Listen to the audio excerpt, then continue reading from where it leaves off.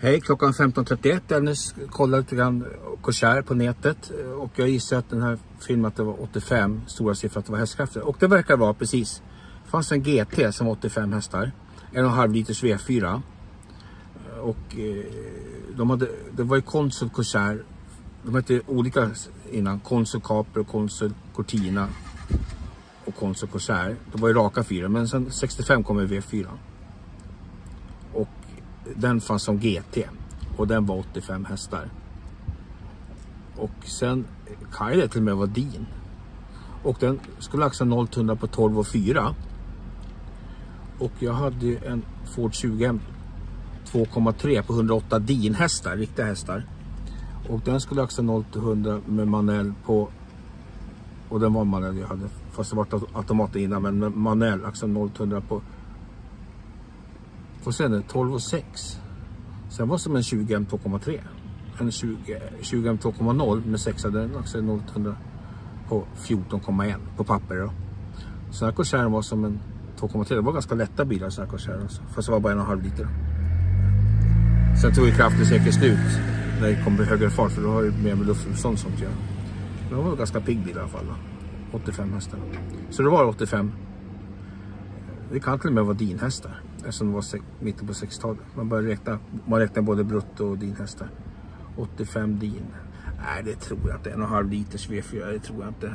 Saab V4, de, de var ju 65 din. Och 75 S säger jag. 85 S bruttohästar är det säkert. Och så kanske den ville visa många din den var. Så kanske eh,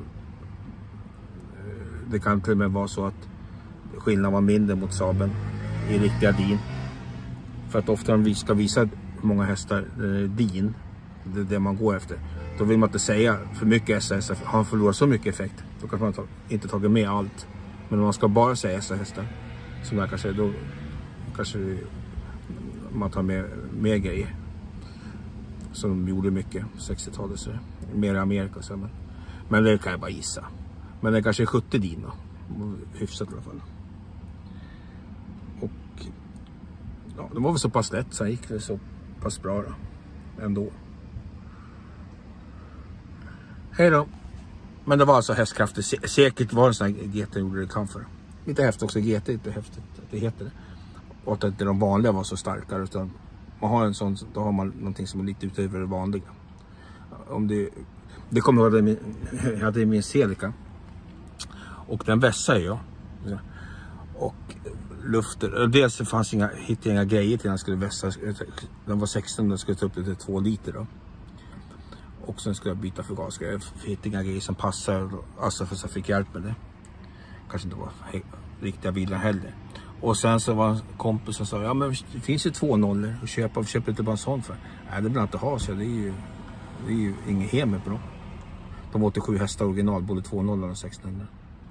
Och den här var ju hemer då. Sen fick jag, det var, i gamla var det väl inte det. Satte de i Serikan lite speciell då. Men det här var ju in på 80-talet, det var en 75 Och så läste att den där motorn, Hemen, fanns i andra Toyota. Fast inte, inte 75 fanns inte det förmodligen, men senare då på 80-talet. Då, då var det inte lika roligt längre. Jaha, usch. Nu har man ju Hemen. Det är vanligt, det är vanligt på motorer att ha Hemen. Men eh, det är inte kul liksom. Det är lika med sån här, om, om en vanlig Corsair slår 85 hästar, då är det inte så kul att ha. Då är det inget speciellt. Liksom. Man vill ju ha ett skoj speciellt. Som en Cortina GT eller Corsair GT. Jag, jag visste faktiskt inte om att, att Corsair fanns som GT. Ja, ja, men då var det säkert 85. Stora siffror 85 hästar. Brorsan hade ju en Vauxhall ta här, en Victor. Och den hette 101. Och det är 101 kubiktum. 1,7 eh, liter knappt då. Eh, avrörelse blir vi precis en, blir väl 1,7 istället för 1,6 men det är ju ungefär mittemellan. Och till sa brorsan, det stämmer ju säkert. Hade det varit Opel, tyskt, hade de inte skrivit 101 kubiktum. Det är för att det är Vauxhall. De hade lite mer amerikansk anknytning på något sätt. Fast de är engelska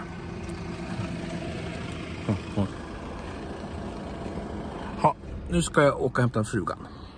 På sitt jobb på Lidingö. Hej då!